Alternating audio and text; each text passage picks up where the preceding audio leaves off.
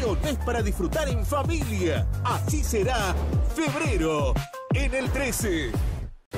Desde el 27 de febrero, HBO Max se convertirá en Max.